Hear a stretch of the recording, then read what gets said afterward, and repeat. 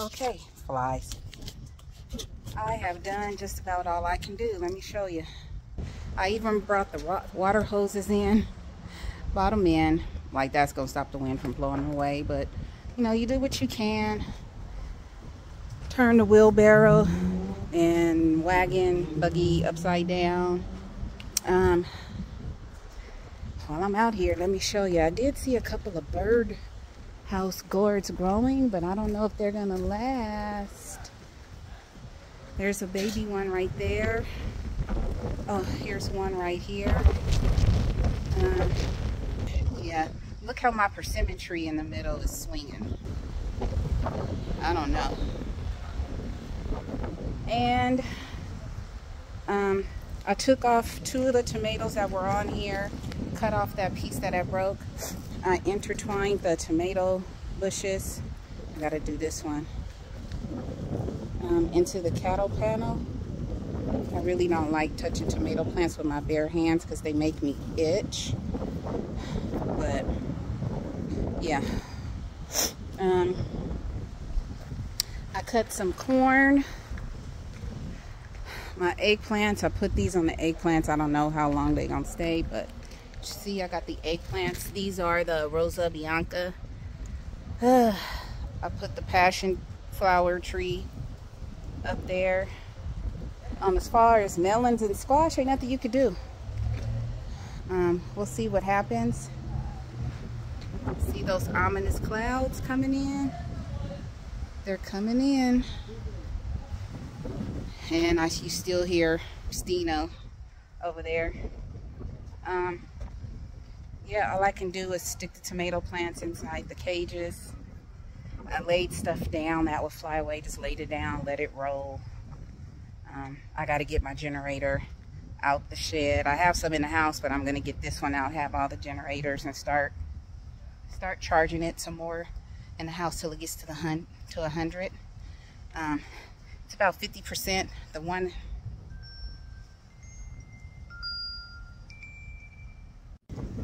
telemarketers, sorry. So let me show you the rest of the backyard. I took all of the pillows and everything, put it in the big shed over there. Um, took all the lights. Let me show you what I did with the lights. I put them in here. See, I picked some corn. Uh, put them in there. And I have a little cubby hole right here. Put my remotes in there. Um, still got to cover up the TV um, yeah, just moving stuff around. Cover the barbecue. The chicks had actually been inside the coop. And now they're looking at all the stuff I put on the side here. Hey, chickie poos. One of them is like, I ain't leaving this coop. But they've mostly been huddled up in the coop. Um, if they go back inside the coop, once I go in the house, I'll shut up the coop. The coop. This is the first time, but they see that I put all this stuff over here and they run they're such babies they run um, I put all of the wood and stuff in here tools in here everything in here and I'm gonna lock that up this is super juice we're gonna move the super juice.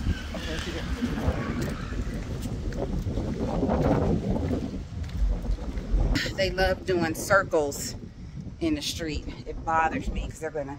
One night I did hear a car run into a wall across the street, drunk. That's why I moved out the way real quick because if they run into the wall, I don't want to be by it. Anyway, let me go back. That's my watch going off. Super juice. Um, all this is clean. I had an old little bale of hay right here. It was it was gone. I threw it away. Have you ever seen it look this clean? The chicks are here. I gotta clean that off. I always clean it off. One chick jumps on top of the coop. If they say chick chickens can't fly, that's a lie. Jumps on top to the highest point and poops and does everything. I filled up their food. I filled up all their water. I left some out here, but yeah, that water is filled to the brim. They've mostly been huddled on this side of the coop and they're going back in. I'm just kind of watching them. When it starts getting real bad, I will go and um, lock them up in there. But yeah, I pulled a couple of banana peppers, like three banana peppers, a regular bell pepper, um, three tomatoes, those corn. The corn is going to be gone. So just let me give you a hint for new gardeners. Let me show you. And they're real little. When the husk, when the silk dies off, it's time to pull. So I pulled the ones that had the dying silk.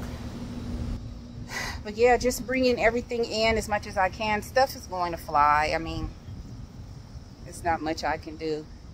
Um, once I get the TV covered up, I'm going in a house that actually feels pretty good out here compared to it being 100 freaking degrees for the last couple of weeks. And I mean weeks. Um, it feels mighty good out here, so I'm kind of enjoying it. Um, but I know I can't stay. Um, I'm really just concerned about my trees and I can see them breaking. As far as the garden, I got seeds I can always replant. Um, I put my blueberry plants in here. I put them in this shed. I put my blueberry plants right there. I have that window cracked just for a little circulation in the fan. And it's a mess in here. But yeah, I'm to lock this up. And um, I've done all I can do. my poor garden hadn't had a storm like this in almost 100 years. And the trajectory of it when I saw it last night, it was like going to hit like Palm Springs, Los Angeles, and we're right in the trajectory of that inland, inland empire. Um, I don't know if it's going to hit more of Northern California, but it may hit some of Arizona and definitely some of Vegas. It's in that Nevada. I always say Vegas, but the state is Nevada. Um, might hit some of that. But um, we'll see. Trees are pretty tough, but we'll see. The corn, the, the corn is going to be trash. It was already leaning and stuff. And um, yeah, that tree should probably be okay, I'm hoping, because it's been there um, over a year and a half. So it's rooted. Hopefully it won't break on top. But these smaller ones that I just had planted on uh, Thursday, I am concerned about. And of course, I, you know, you want to get food. You want to get food. I didn't show you the other squash that I had right here. You want, I want to get food, but if I can't grow it right now, oh, I see a strawberry. Then um, get the strawberry when I can. Ooh, you're fully red. Thank you, thank you. Terminix come out. He asked if I had seen any rodent or squirrel problems. And he said one of the boxes, all of the poison was almost gone. So something took it and it's probably dead and gave it to its family. Because I have not seen any bites or anything like that on my food. Because I got melons over here. I got squash. Oh, I cut cucumbers. I had two full I had three cucumbers. I got cucumbers. Um, my cucumber plants were just starting to grow back good, you know, because remember I planted everything late. Don't plant late. I would have had this stuff in the ground in the end of March, beginning of April would have been better, better, but I just really didn't have the energy at all. Um, I hope I don't lose pomegranates because my pomegranates were starting to come in good. Yeah, they, they're not ready to be picked yet. They're not fully ready. That's a baby one. It's one here. One here. See, they're not ready. They are not ready yet. See? And I had some back here. Even my almonds aren't ready yet. Let me show you. She's not ready yet. Look at that. I had a couple. Ooh, don't get stuff in my eyes. Hopefully it'll be okay. But um, yeah, okay. So I'm gonna go ahead and cover this, cover this TV, and um, leave the rest up to Jehovah God and His Son, Jesus, and His King, His Son Jesus in heaven.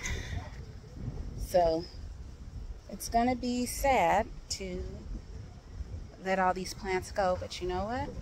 I got a little food off of them, and I'm more concerned about the trees because the trees, the garden is just for every season. The trees last for decades. So, anyway, I'll keep you guys in the loop as to what's going on. Um, let me go get this generator, cover the TV up, and then I'm going in the house. I'm going to take me a nice hot shower and put on some sweats and some jammies and just chill. This is not much else you do. All right. Bye.